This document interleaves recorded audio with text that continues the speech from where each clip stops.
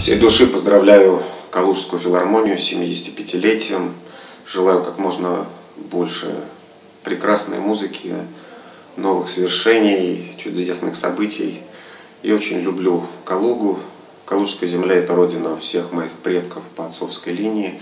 У меня особые чувства к Калуге, Калужской области. Я здесь часто бываю в разных местах. И поэтому здесь как бы для меня, может быть, есть моя родина. Мне очень хотелось приезжать сюда почаще, и я желаю действительно всем калужанам радости, творчества, света и прекрасной музыки.